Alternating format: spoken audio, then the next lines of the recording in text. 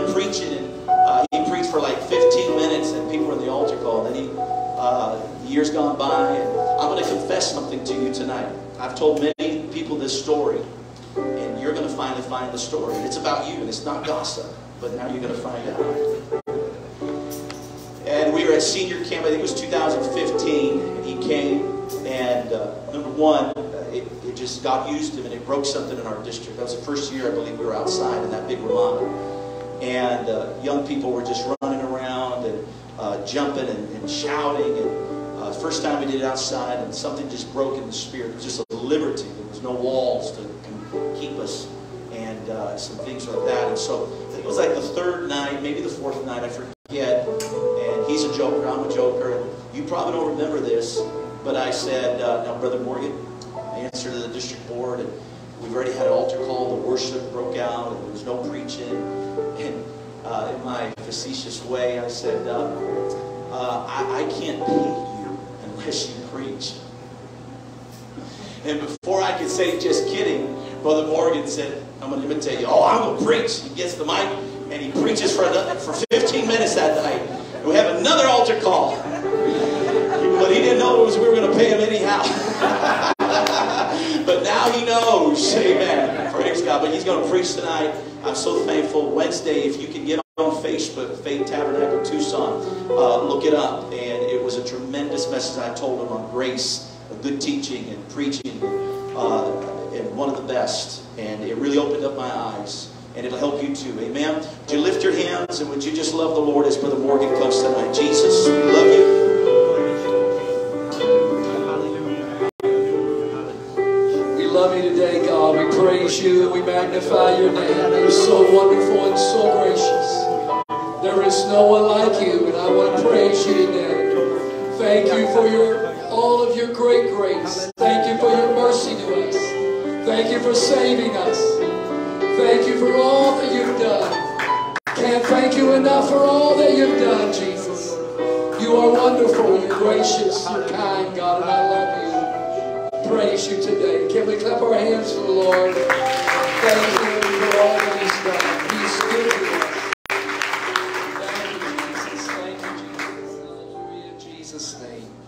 Hallelujah. It's such an honor to be here today and uh, to be able to preach to this great church. I, I'm very much honored to be here today. Thank you, uh, Brother and Sister Lopez, your wonderful family, all your nine kids. Thank you very much for allowing me to be here. Hallelujah. If you don't know, now you know. Glory, glory. That uh, your pastor and I uh, are blessed with the same disease of ADHD. And uh, that's a blessing, by the way, if you don't know that. Uh, it's a blessing to have ADHD. Uh, if you've been around us, then you know what that blessing is. You get to sit and listen and don't have to say much. Hallelujah. So, some of you that are non uh, conversationalists and you don't know what to say when you're around certain people, when you're around us, you don't have to say anything. we will say enough for both of us. Hallelujah. And then we'll forget that we even talked to you. Hallelujah. And so it's so good to be here. I'm expecting God to do some great things today. Hallelujah. In Jesus' name. Hallelujah. Acts, the first chapter. Acts chapter number 1, verse number 15. And then we'll be reading in John, 1 John, the first, uh, first chapter. 1 John 1. Hallelujah. In Jesus' name. Hallelujah. So I want to let you know tonight, I say this a lot to where I'm preaching, I say this a lot, that I am an evangelist. And I don't see saved people when I preach. I just see people who need to go to heaven. Right. And I'm going to do whatever I have to do tonight to pray, to preach, somehow to get you into heaven. Amen. Amen? That's my job. And so I've, I've said this also before that if you don't want me praying for you, if you'll act saved, I may leave you alone. Hallelujah. Acts chapter number one. Good to see Brother Sister Connor here. Very much. I give you honor today from the bottom of my heart. And I mean that. Uh, you guys are special to me. Acts chapter number 1, verse number 15. In those days Peter stood up in the midst of the disciples and said, About the number of names together were about 120. Men and brethren, this scripture must needs to be fulfilled, which the Holy Ghost by the mouth of David spake before concerning Judas, which was guide to them that took Jesus. For he was numbered with us and had obtained part of this ministry. Now, this man purchased a field with the reward of iniquity, and falling headlong, he burst asunder in the midst, and all his bowels gushed out. What, what a horrible scripture to read. And it was known unto all the dwellers at Jerusalem, insomuch as that field is called in their proper tongue Aceldama, that is to say, the field of blood. For it is written in the book of Psalms, Let his habitation be desolate, and let no man dwell therein, and his bishopric let another take. What, what a horrible ending to a life. He got so caught up in his sin he thought the only way to deal with it was to take his life. Got so caught up with sin and decisions that he made that he looked around and thought, there's no other recourse for me but to just take my life. What, what, a, what a horrible ending of a life. First John, first chapter, verse number 5. This then is the message which we have heard of him and declare unto you, speaking of Jesus, that God is light, and in him is no darkness at all. If we say then we have fellowship with him and walk in darkness, we lie and do not the truth. But if we walk in the light as he is in the light, we have fellowship one with another. And the blood of Jesus Christ, his Son, cleanseth us from all sin. If we say that we have no sin, we deceive ourselves, the truth is not in us. If we confess our sins, he is faithful and just to forgive us our sins and to cleanse us from all unrighteousness. All unrighteousness. So just for a little while today, I want to preach on this subject. You don't have to die in your dilemma. You don't have to die in your dilemma. Hallelujah. In Jesus' name, you can be seated. Thank you so much for standing.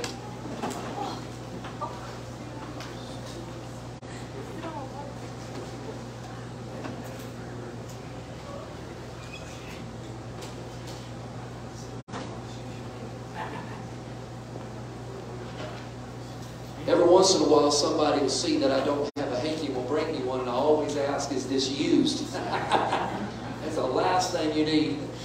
Wiping somebody's dirty hanky across your face.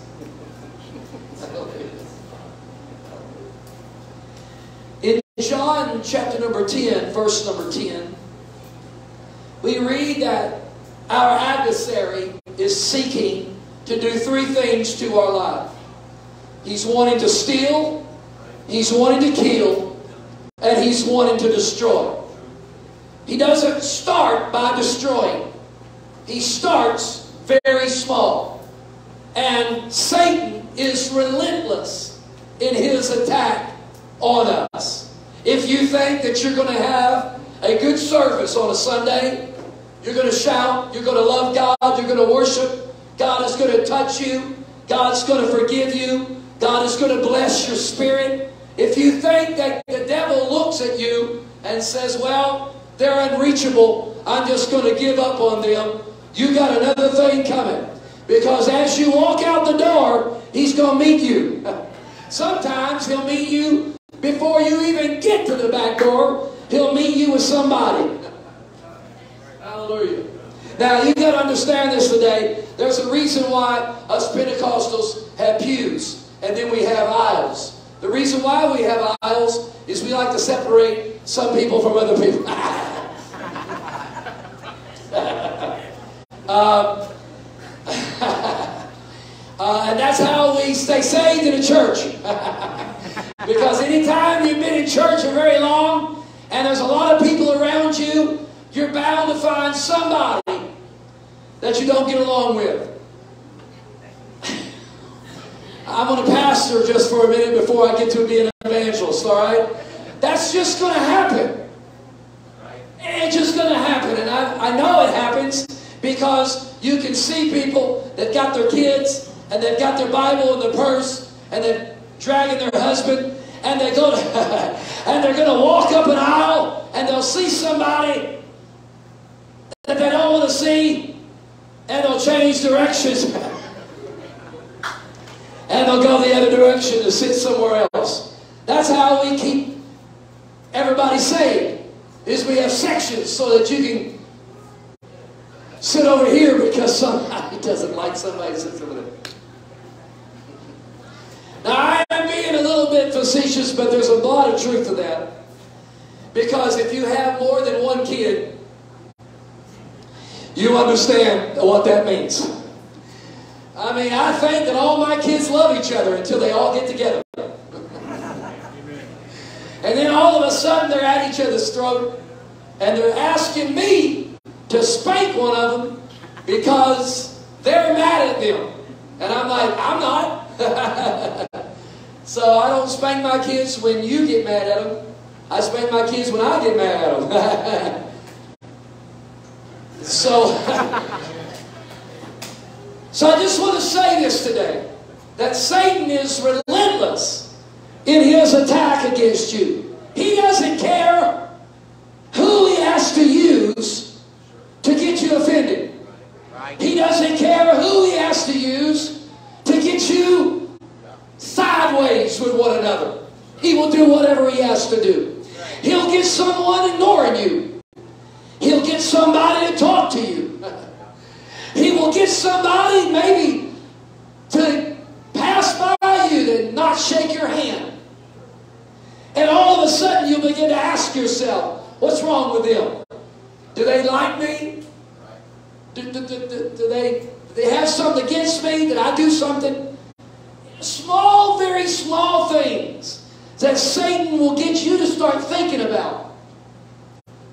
Oh, I bet when that preacher was preaching, he was preaching right at me. And you know what? Don't flatter yourself. I wasn't even thinking about you. Wait. I'm going to offend somebody tonight, I know, before I leave. but it's the truth. I, I remember somebody telling me one day, you walked right by me didn't even say anything. I was like, you know, I saw you before and I talked to you. I thought the second time that I didn't have to say anything. But I, you know, I didn't know I had to come by, and every time I walked by you, I had to hold a conversation. I was like, I, and this is somebody that was in my church. I was like, you know, I, I thought that you would allow me to go talk to other people. I didn't know that you wanted me to be a one-on-one guy for the rest of my life with you. because people are looking, something in their spirit uh, Satan loves to, to tell you things that are not true. That person just doesn't li- like you. That person hasn't even thought about you all day. But he wants you to think small things, small things to get you sideways. So that when God goes to use them with you, you're already mad at that person and you say, No, I don't think I want to. And all of a sudden, just something small gets in our spirit. I don't know what got in Judas' spirit. I don't know. I don't know how he got his mind so messed up with Jesus.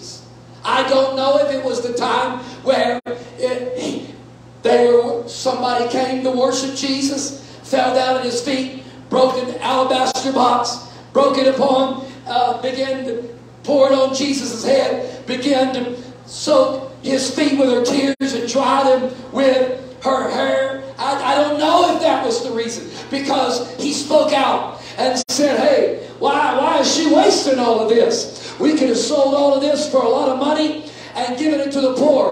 And he said, Hey, Judas, the poor you have always. He said, But me, you don't have very much. And he spoke kind of harsh to him. I don't know. Maybe something got in his spirit. Maybe something got a little bit sideways. And he started getting so deep into his decisions that somewhere it got so bad and he got so eaten up with everything that was going on in his life that he somehow betrayed Jesus. How can you go from just being a little sideways to somebody to betraying them and watching them die? Listen, I want to tell you today that uh, Satan wants you to get to that point. He wants you to get to that point where you think that you've just gone too far, that your sin is just too big, that all of your decisions that you've made all of your life have led you here. I've isolated people. I've said things that I can't take back. I've done things that I can't pull back. I just, there's some things that I've done that there's just no way that I'm going to maneuver my way out of this. And the best thing for me to do is just walk out of church and never come back. I want to tell you that's the lie of the devil. You need to understand that God doesn't want you to die in your dilemma. Because there, there's times that we get that way. We just think maybe we've gone too far. Maybe, maybe we've just said too many things. Maybe, maybe we've had too many broken promises. But I want to tell you, Satan is patient. Oh, he doesn't mind small victories. He wants to get you so entangled in sin that one day you just throw up your hands and give up. Judas allowed himself to, to get so entangled in his failure and to all of his failures took a hold of his life, and Judas couldn't handle it, and Judas took his life. I want to tell you today, this is where Satan wants you to get. He wants you to think that you're no longer usable. He wants you to think that you're no longer ever going to be blessed. That if you do be, if you are going to be saved, it's going to be by the skin of your teeth. That you're barely going to make it. That you're not worth what anybody else is worth. That if you leave the church, the church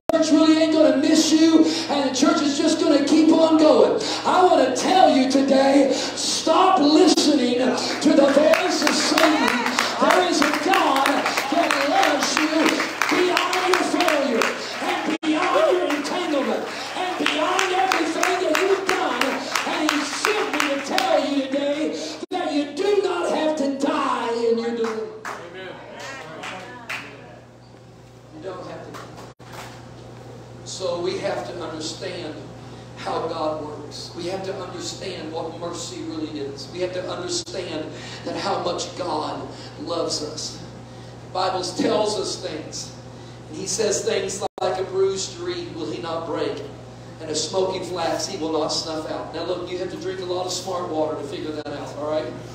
And I'll be honest with you today. I was, uh, that's the reason why I'm fixing to explain to you what that means some scriptures that we read in, in, the Bible, sometimes we read them and they just they just they just don't make sense. And instead of taking the time to figure out what that means, we just kind of okay, we just kind of breeze through it. But let me tell you something. This is what it means. If you if you've ever played or seen someone play a, what they call a woodwind instrument, it is an instrument that has to have a reed, a small, small, insignificant, cheap little piece of wood that is a reed that you put on an instrument. And it gets wet, and you begin to blow across it, and it makes sound, and you begin to play music with this reed. Now, let me tell you something. it getting wet and then getting dried out, and getting wet and getting dried out. That reed that is so cheap, that is so insignificant, that is uh, able to be, uh, that, that it has to the, to the, uh, how much ever you paid for uh, the instrument itself, that reed is insignificant to the cost of that wonderful instrument. But the instrument, no matter how much it costs, it's useless without that. Right. and some of you allow Satan to tell you that you're not worth anything that the church is so wonderful and so big and so powerful and so awesome that you are insignificant and you'll never, never really uh, matter to the church and matter to God. But I'm telling you right now, He said a bruised reed.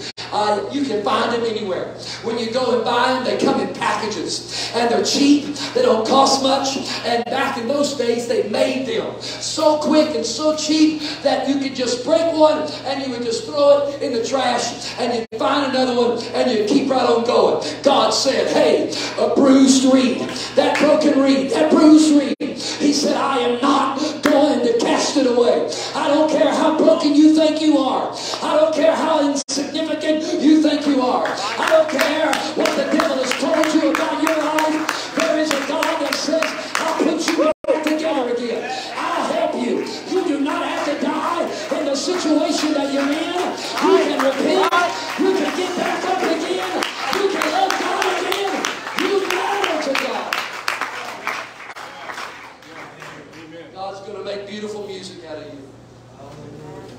You believe that? He said, a smoky flax will he not snuff out. This is really even more insignificant than the reed, for it was just things that you could find on the side of the road. You kind of twine, twine them together and put them in a little bit of oil and light it, and it would be able to, to give light to you. It was just a piece of flax. It was just some insignificant, cheap, throwaway stuff. He took that and he put it together, put it in the middle of some oil, and they would light it, and it would make beautiful flames and give you light for your dark home. But then somewhere of being used so much that it would stop giving off light. And when you light it, it would just smoke. And it would smoke and ugly black smoke would rise up and it, it'd be nasty. And, and so what you do is you just reach in there and you'd pull that out, throw it in the trash, and you'd pick up something else, put it in there and use it, and it was insignificant you.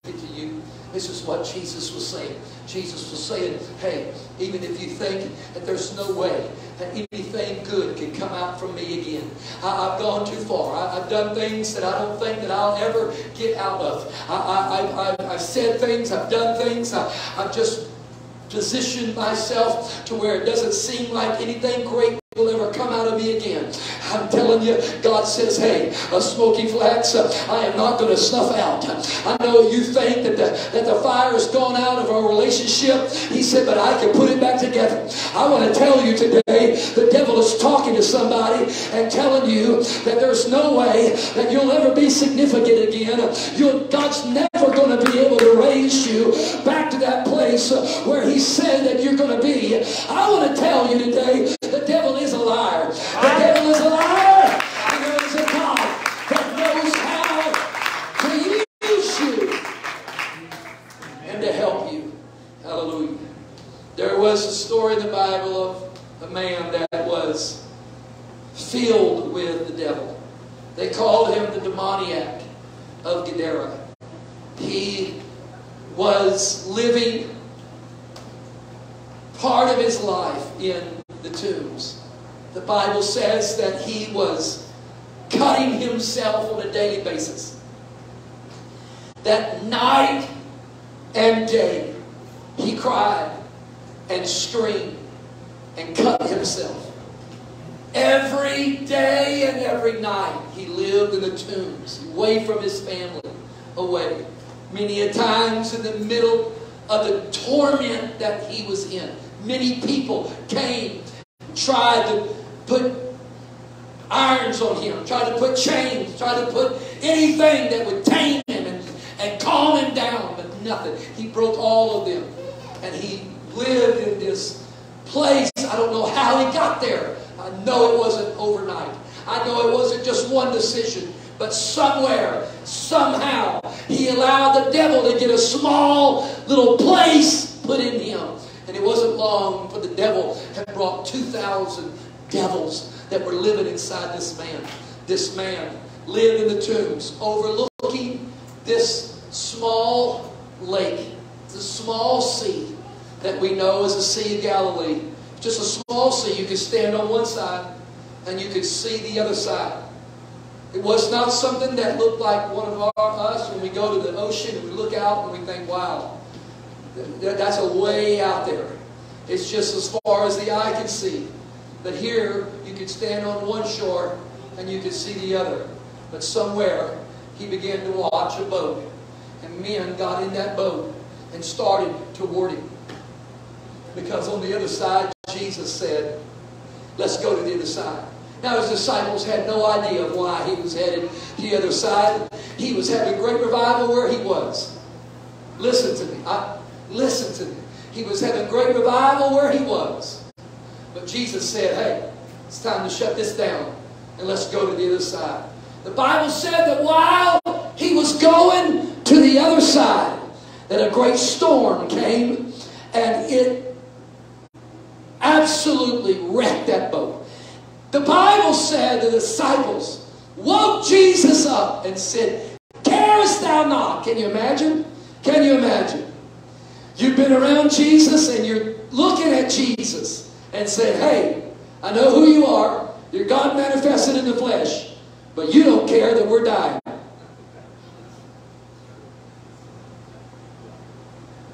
So carest thou not that we perish? The Bible said that Jesus stepped to the bow of the boat. Now, let me tell you, there's a reason why Jesus does everything. Reason why Jesus does everything. The Bible said he stepped to the bow of the boat. And he walked all the way to the front because he wanted somebody to see him.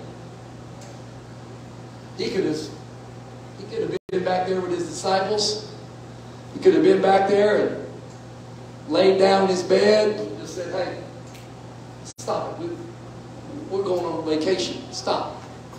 And, and all, everything have been cool. But he said, no, that's, I'm not doing this for my, for my disciples. I've already told them we're going to go to the other side. They shouldn't be worried about it. This storm is not here to sink the boat. This storm is here so that I can show somebody that I care for them. The Bible says Jesus calmed, said, Peace be still, and calm the sea. And then the Bible says they went on to the other side, and immediately there met him a man out of the tombs of Gadara came running down. You know what? Why he came running down? He looked and said, There's a man, and if he can calm the storm out there, he can calm the storm that's in right. here. and the Bible says that 2,000 devils couldn't hold him back from going and worshiping Jesus. Why? Because he said, you know what? I've watched somebody, I've watched numerous times. For I've, I've, I've been up here a long time overlooking this great sea. And I've overlooked many storms that have sunk many, many boats. And all of a sudden there's one boat that the storm had to listen to. And the Bible said that Jesus stepped out of that boat and he met him. And he said, Hey, if you could calm the storm out there, you could calm the storm in here. And the Bible said the next time they saw him, they saw him clothed, sitting at the feet of Jesus, clothed in his right mind. I want to tell you today that Jesus came to this service because there's some people that have some storms on the inside of them. They don't know how they're going to get out of it. They're praying about it. They have had people to talk to them about it. But I want to tell you, Jesus has come and said, I'm going to calm that storm tonight. I've come because I'm the master of change. I know how to change your life. I want to tell you this today that God wants to fill you with the Holy Ghost more than you even want the Holy Ghost. I believe that God wants to heal you more than you even want to be healed. You don't have to twist God's arm. You don't have to twist God's arm. He wants to help you more than you even want to be helped. Hallelujah. Hallelujah. Bible said that Jesus looked at his disciples one day and said it I must needs go through Samaria. Now I'm going to tell you this. You got to drink smart water. but if you if you don't really do a little bit of background on, on, on Jesus, nobody nobody wants to go to Samaria.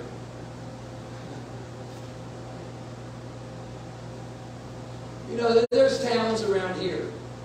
There's probably towns around here that you all know of that nobody wants to say, hey, we've got a little time today. Why don't we go down here to... Every one of you are thinking about somewhere right now, but you don't want to say it because you're afraid of somebody that's here lives there. but we all have that place that nobody, nobody is thinking about. You know what? It's vacation time. Guys, where do you want to go? Oh, we want to go. And you're like, what? No, seriously. That's a funny joke. but no. Where do you really want to go? Let me tell you something. Nobody wants to go to Samaria. Nobody. Jesus looked at his disciples and said, I must. There is a need that I must go through Samaria. Samaria wasn't a town that you walked through to go to another town. It's the town you had to go out of the way to. And when you got there, they were not the greatest people to be around. Let me tell you this. Jesus said, I must needs go through Samaria. So much so that he told his disciples, go into the city and buy some food. And sent them away because he knew that he was fixing to talk to somebody that nobody in his entourage would have liked him talking to. And so Jesus sent them all away and sat down at a well. And the Bible makes it plain that if you drink smart water, you'd know that it was in the middle of the day. It was in the middle of the day.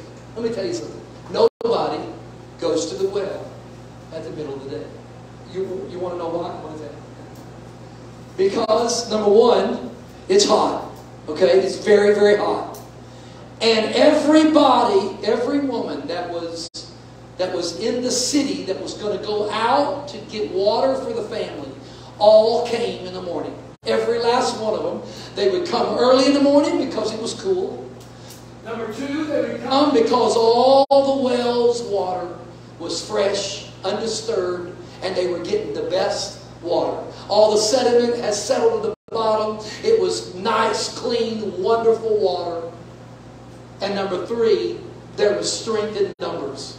They didn't ever have to worry about someone jumping them, someone coming in and robbing them, because there was enough of them to come together.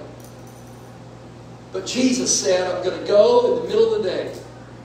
Not going to be very good water, because it's going to be hot. It's going to be full of mud. There's not going to be much there. But there's going to be one person that really didn't want to come with everybody else.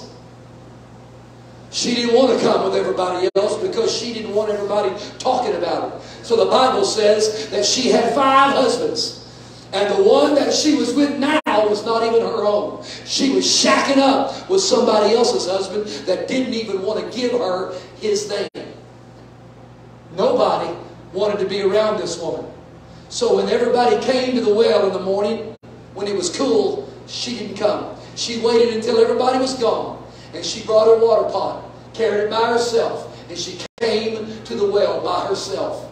I'm going to tell you this today that Jesus sees your life. He sees everything that you think. He sees everything that the devil has told you about yourself. Now, I'm telling you right now, God knows how to look at the broken and say, hey, I'm after you. You're just as important as anybody else. This woman came by herself and she's there with Jesus. And Jesus said, Hey, I'm coming for you. I've sent everybody away. I know everything not good at this well, but you and I are going to have a talk and we're going to get down to business and I'm going to help you. I'm going to give you water that you'll never thirst again. I'm going to give you a life that you can be proud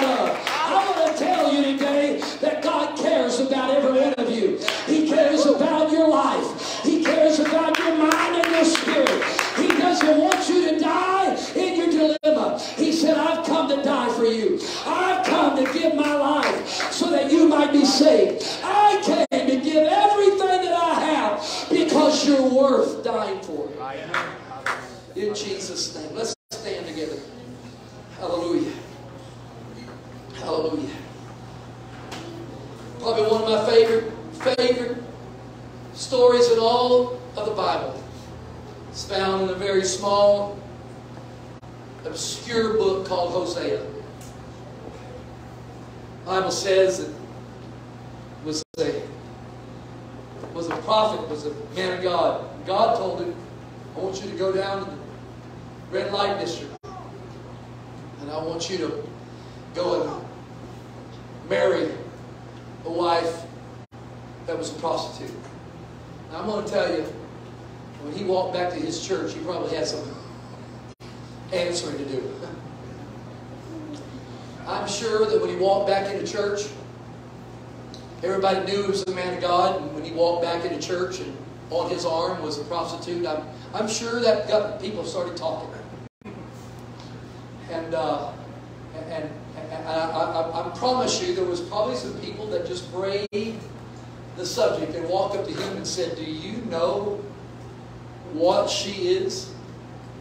And he's just like, Yeah, I, I want to know how you know. Who she? This wasn't a good situation. The Bible says, here's this man of God, here's this prophet, he comes home. The prostitute marries him. The Bible said they start having children. One day the prophet comes home, and the children look at dad, and, and he says, Hey, where's mom? And they go, Well, she left earlier today and, and didn't come back.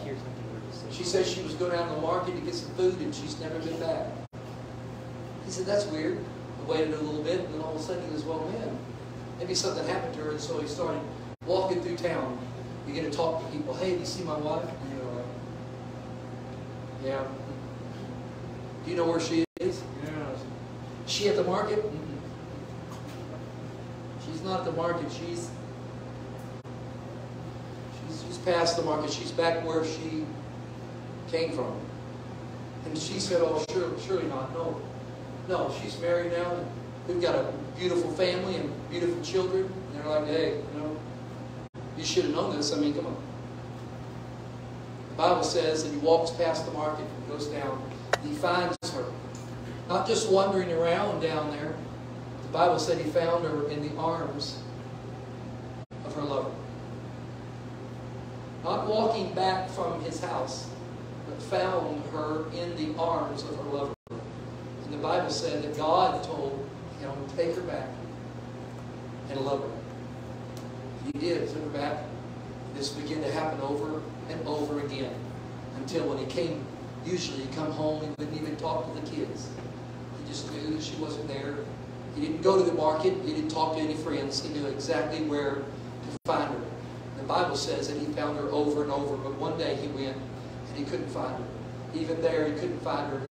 Back walking home, he walks by an old auction where they were auctioning off old cows and old camels and, and just animals. And there she is standing, dirty, wore out, ugly, standing up there, and they are selling this woman like they would an animal. The Bible says, Jesus, or God says, I want you buy her back. Want you buy her back. And so they begin to auction this woman off, and I have a great imagination. I can just imagine how this auction would go. I've been to auctions, and you have to start bidding. You have to raise your hand and say, hey, I'll, I'll, I'll bid so much. And I'm, I'm sure there was somebody who needed a maid or needed somebody maybe to clean out the pig pen or something. They thought, well, I can get her cheap enough. She can work out there and, and uh, just fend for herself. And they said, you know, I'll give a couple pennies. And all of a sudden, God speaks to Hosea and says, now I want you to buy her. And he says, hey, I'll give you a $100. And they look at him like, uh, man, you know, you jumped from a couple of pennies all the way to a hundred. I mean, I, I mean, good for us, but man, you, maybe five pennies would kind of been what, what, what she's worth. And he, he lifts his hand up again and says, I'll give you 200. And they said, Sir, there's nobody bidding now but you. Oh, oh, I'll give you 300. And they say, Sir, we don't understand what you're doing. Well, what, what are you what are you doing? I'm going to tell you this is what I believe. I believe he was trying to show her, I'm not buying you for what everybody else thinks you're worth. I'm buying you for what I think you're worth. And I need to buy you with the ultimate price so that you once again look at yourself like I'm worth something. I'm worth something. Hallelujah. I want to tell you in this house today, I don't care what the devil's told you. I don't care what you've thought about yourself. I don't care of what maybe somebody has said to you that has hurt your feelings or something that you've done in your past that keeps you from really believing what you're worth. But Jesus said, let me tell you how much I think you're worth. I'm not going to buy you from what you think you're worth. I'm going to buy you with my precious blood because I'm going to tell you what I think you're worth. Let me tell you, the devil should not tell you what you're worth. The one who has purchased you tells you what you're worth. And he said, You're not your own. I bought you with a price, and the price was everything that I had. Because that's what you're worth. That's what you're worth. Hallelujah. Can we pray just for a minute in this house? Can we lift our hands all over this house today? And just right where you are, can we begin to pray right now and let the Holy Ghost move in this house right now. I believe that God wants to talk to somebody. God wants to speak to somebody right now. And somebody in this house needs to realize that I've come in this house. I didn't really think much about myself. I've got some things that I'm entangled with. I don't know how God's going to get me out of this. But the preacher come to tell me that I don't have to die in this dilemma. That God is one to bring me out. God is one to forgive me. God is one to save me. God is one to lift me up and exalt me And tell me that I'm worth more than I thought I was. In Jesus' name, in Jesus' name. Thank you, Lord, for your goodness. Thank you, God, for all that you've done for us. Thank you for what you've done for us, God. I pray for every person in this house. I pray that the Holy Ghost would move in this place and touch every life in this place today. Jesus' name. In Jesus' name. Hallelujah. We're going to respond to God right now. We're going to respond to God. Hallelujah. I feel like asking today if you need God. You want God to touch you. Maybe there's an enemy that's been lying to you. Maybe there's some things in your life that you've just just, you've just had a, a battle with, and you're thinking, I wonder if I could ever get rid of this. And can I ever push this away? Can I ever get past this? I want to tell you there's a God that is saying, if you'll step out and you'll respond to me, I'm going to show you today that I know how to forgive. I know how to change. I know how to love you. I know how to save you. I know how to change your life. If you're here today and you want to pray, I'm asking you right now, all over this house, would you come and would you stand across this front as just a token of our, our showing that today I'm going to show God, God, I believe your voice greater than I believe the voice of the enemy. That the enemy's told me that I'm not worth much, but there's a God that's going to tell me that I'm worth name of Jesus, every heart, every life, every soul, in the name of Jesus,